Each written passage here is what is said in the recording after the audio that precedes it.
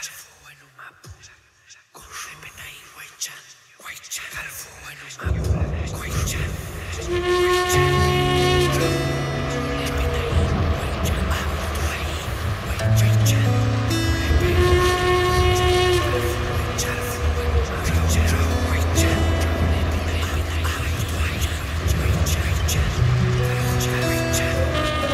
sorprendidos muchísimo por porque más que una peña es un encuentro de mucha gente amiga porque conocemos a los organizadores sabemos la clase de personas que son eh, porque no, no- nos contagiamos de esta, de esta hermosa alegría de, compartir la música y de venir a Tucumán que es algo que para nosotros es maravilloso y porque sí, porque había que estar acá. Vivimos donde ni la sombra nos queda del suelo y donde la sangre alimenta el al ser independientes, elegir el camino de ser independientes, hacer un disco de la manera que nosotros planificamos los discos, no es nada fácil.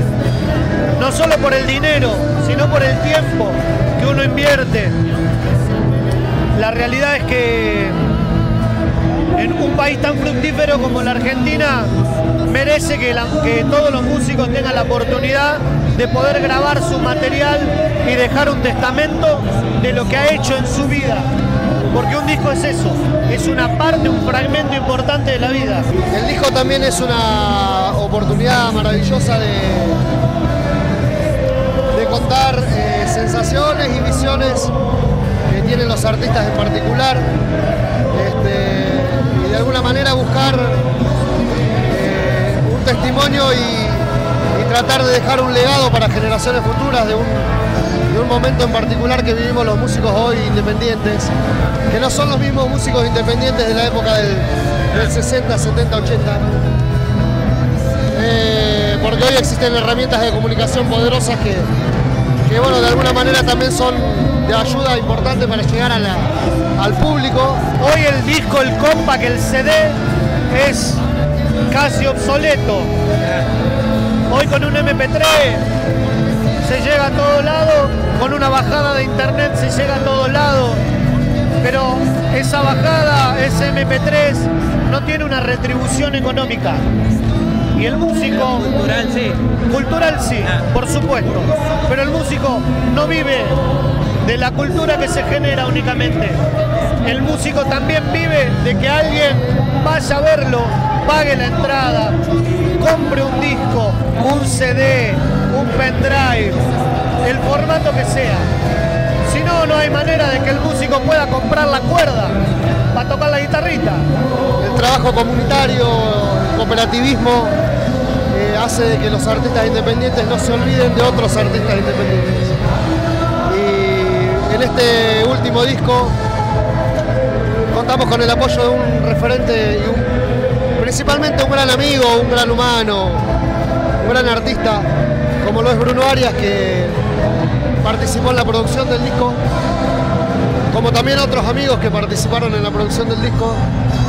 Pero bueno, cuando uno habla de un par, de un semejante, eh, cobra otro vuelo tal vez porque, porque es un colega un hermano, un compañero del camino con el que hemos transitado un sinfín de caminos juntos. Hemos pasado hambre también en algún momento y nunca, nunca se ha olvidado de, de dónde salimos todos, ¿no? Salimos del mismo pozo. Ser independiente significa muchas veces hasta tener que trabajar de otra cosa para sostener un ideal. Entonces, llegar al equilibrio de poder llegar a un material que a uno lo represente en toda la magnitud de cada palabra, de cada nota, es algo complejo. No imposible, no obstante, no imposible. No hablemos del derrotero de que no, no se puede, no. Poder se puede, pero es muy difícil. Jamás doblegado, sencillo y contento.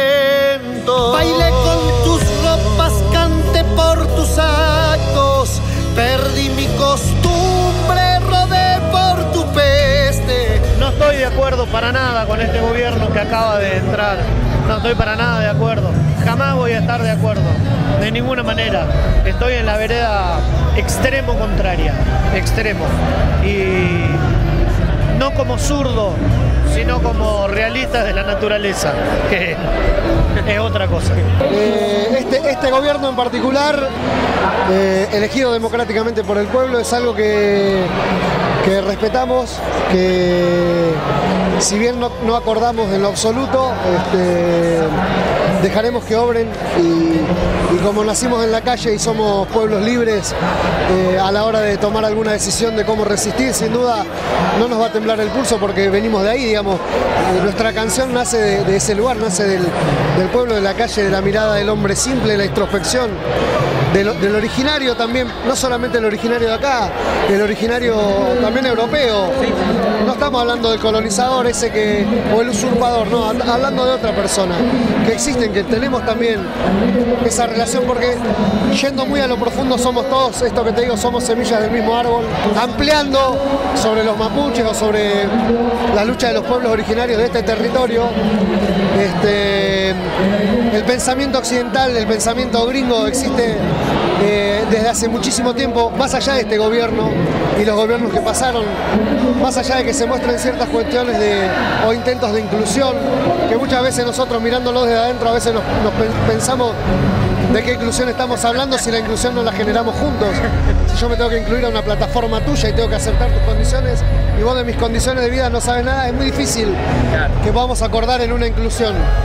Pero bueno, existen personas que lo que hay que destacar es el trabajo de los comuneros que están en las comunidades, que viven en las comunidades, que defienden su territorio, que siembran la tierra, que cultivan ese espacio, que reclaman ese espacio como propio.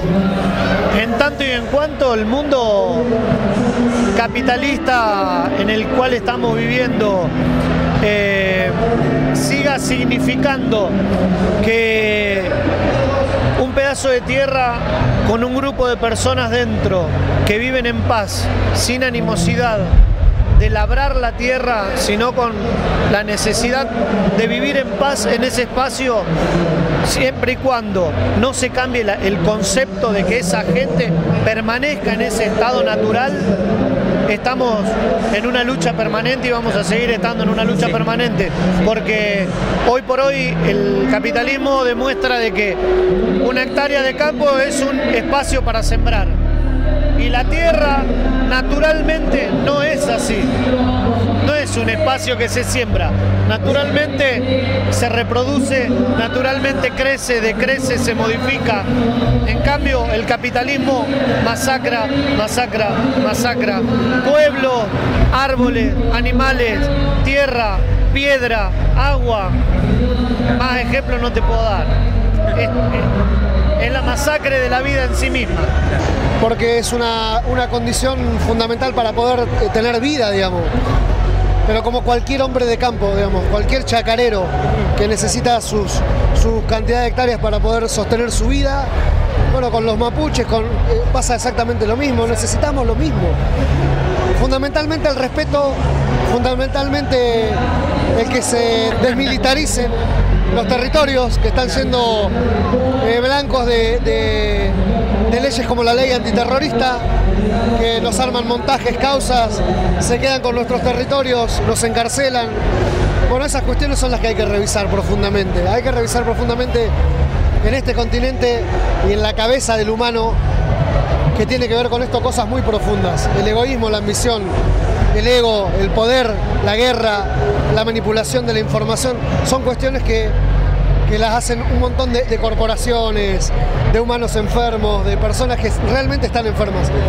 Entonces, cuando uno se pone a, a batallar contra esas cosas, eh, por lo general terminamos siendo en el mismo lugar. Eh, terminamos tratando de dar canciones, terminamos tratando de acompañar a los paisanos en lucha, terminamos tratando de, sostener eh, las ollas populares de la gente que necesita apalear el hambre.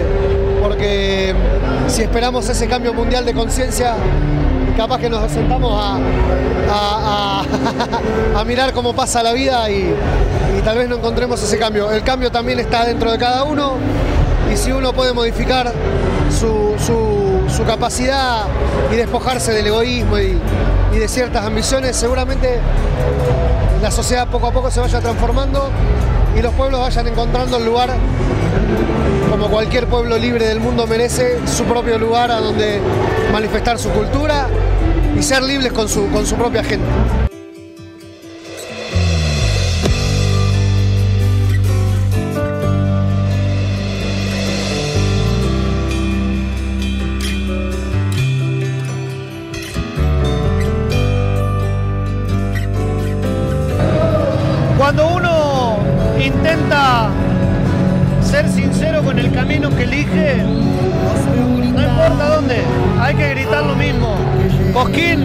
En su momento nos cerró la puerta, fiero, siendo nosotros mocosos, siendo bastante inocentes en un montón de cosas.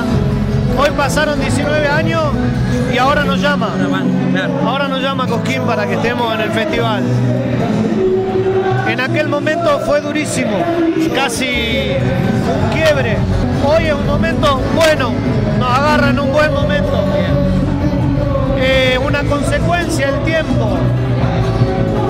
La perseverancia, el profesionalismo, la paciencia, el vigor de decir no me bajo de lo que pienso. Esto no se negocia. Yo canto esto. ¿Te gusta? Vení. ¿No te gusta? No me lleves. Los festivales pueden ser festivales, son estructuras, montajes particulares. La música eh, viaja, la música eh, la conforma aquel que la ejecuta, pero también eh, las personas que la escuchan. Siempre apostamos a encontrarnos con amigos y tratar de hacer que la, que la canción fluya y que genere un vuelo propio y ese vuelo propio que genere pertenencia en, las personas. Las canciones tienen que generar pertenencia en las personas para que nosotros podamos estar eh, abrazados más tiempo en la música. La música nos abraza, está por encima de nosotros. Y conectar con esos estados como pueblo, como personas que escuchamos a otros artistas en la vida cotidiana, inevitablemente nos hace un poco más ricos y más fuertes a la hora de decidir dónde cantamos, cómo cantamos y de qué manera nos plantamos. Y eso sin duda es, es la victoria del arte independiente que no se mide ni en cantidad de personas, ni en cantidad de dinero, ni en cantidad de fechas. Eh, la calidad de lo que uno recibe de la gente es la paga absoluta que nos vamos a llevar y que le va a quedar seguramente a aquel que pudo conectar con, con uno y con la canción. Lo que hay para contar es para contar y es verdad. La verdad no se puede esconder. O sea, la puedes dibujar, mirar para, lado, para un lado, para el otro, hacerte el boludo, pero está ahí, está metiendo ahí siempre el dedito, la verdad. Y en algún momento sale a la luz, y cuando sale a la luz es refutable.